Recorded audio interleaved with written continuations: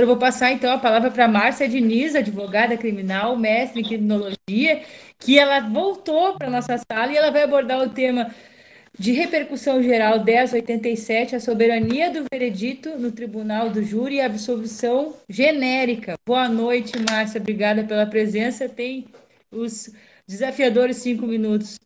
Desafiadores mesmo. Eu cumprimento, então, a todos os presentes, parabenizando pelas respectivas palestras, excelentes falas, na pessoa da, da Carmela, e que teve a excelente iniciativa de criar esse projeto de discussão de matérias de direitos humanos que estão sujeitas agora ao Supremo Tribunal Federal.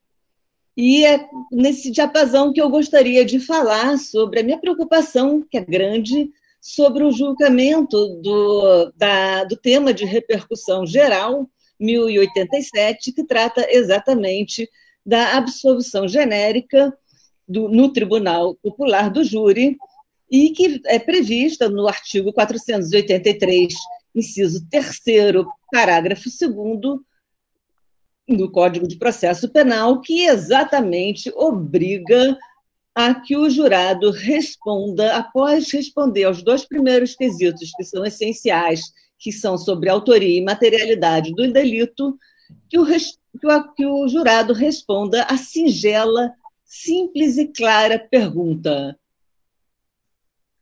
o réu deve ser absolvido? O jurado absolve o acusado? A, a lei fala, o jurado absolve o acusado?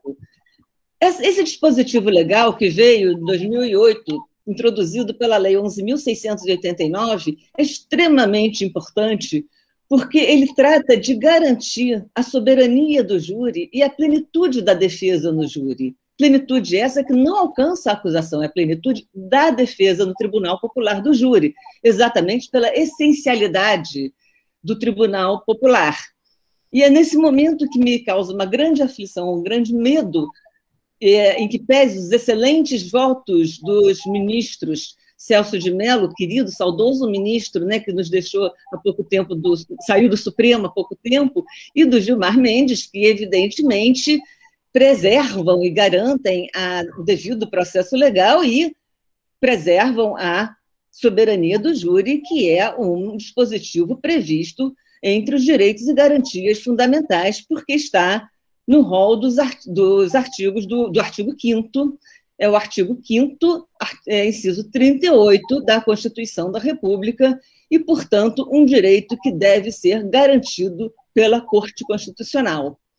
E Nesse momento em que a lei estabelece exatamente essa garantia, ou seja, a garantia da essência do tribunal do júri, que é o juiz leigo poder decidir de acordo com a sua convicção pessoal, é exatamente nesse momento que o Supremo começa a questionar o teor dessas decisões a partir de um recurso da acusação contra uma absolvição chamada absolvição genérica.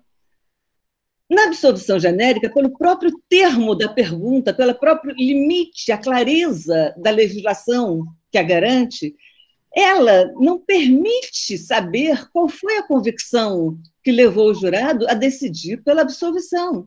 A pergunta é: absolve? Prontos. Absolve sim ou absolve não. Não pergunta por quê.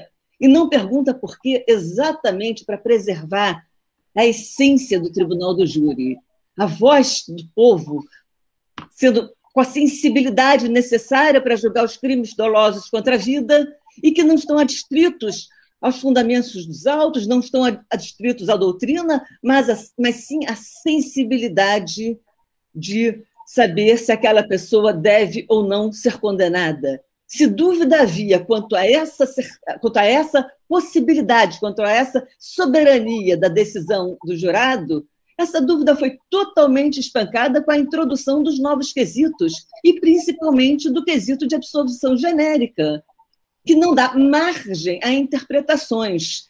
E exatamente essa margem a interpretações diversas, o que é. Sim, estou terminando.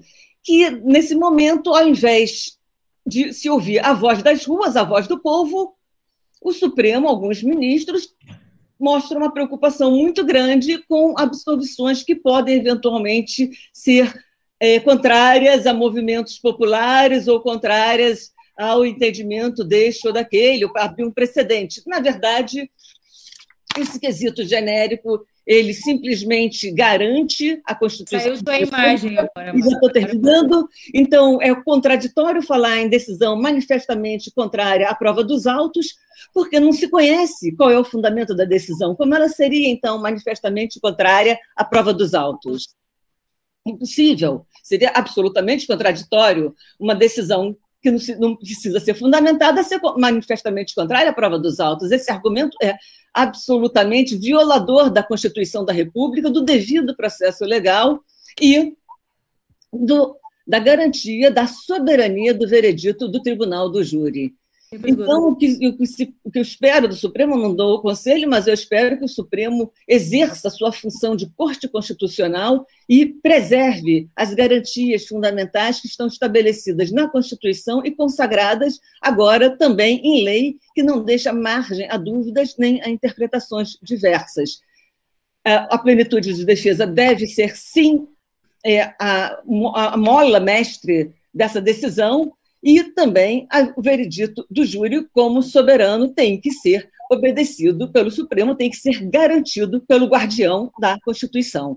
É esse, é isso que se espera, portanto, eu não dou um conselho, mas sim espero que o Supremo exerça o seu papel de corte constitucional, garantindo os direitos e fundamentos previstos no artigo 5 da Constituição da República. Muito obrigada, Márcia.